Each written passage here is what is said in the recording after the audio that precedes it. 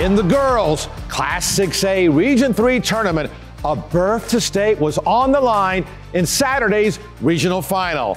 A final that gets our nod as the Fred Haas Auto Group Game of the Week.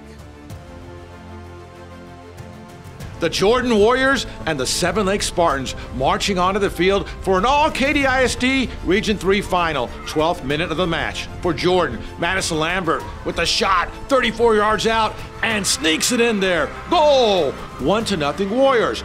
But Seven Lakes right back on the free kick. Wagner Townsend with the blast hits the crossbar, bounces back off the head of the keeper and into the net for a goal. Wow, check it out again hits the bar, the head, and into the net.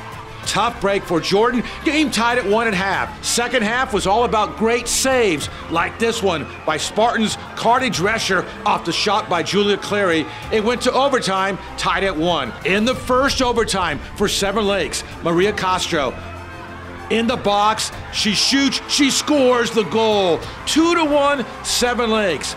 Now, same score, final seconds of the second OT. Jordan desperately trying to get a shot off. They do. Right into the keeper as the final horn sounds. And the Spartans celebrate a hard fought 2 to 1 victory.